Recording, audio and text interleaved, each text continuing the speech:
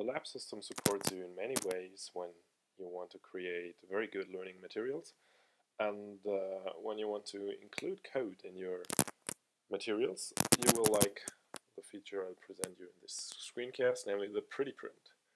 The Pretty Print is included using the Google Code Prettify and uh, you can simply include it in the plugins directory and then you can directly use it.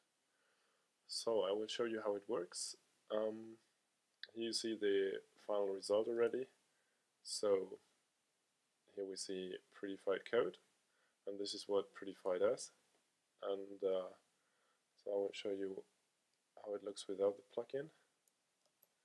So I remove this identifier here telling the page that it should be formatted. And so here we just see the unformatted um, C code.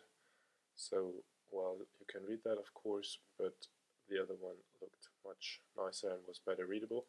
So I show you again how to enable it. So you just go to your pre-tag and you set the class to pretty print and save. And as you can see the code is highlighted now so it happens with JavaScript. This is why um, it took some time until it was highlighted but now you see like the uh, variable types are colored and uh, so the, the syntax the, the C language syntax is highlighted for instance.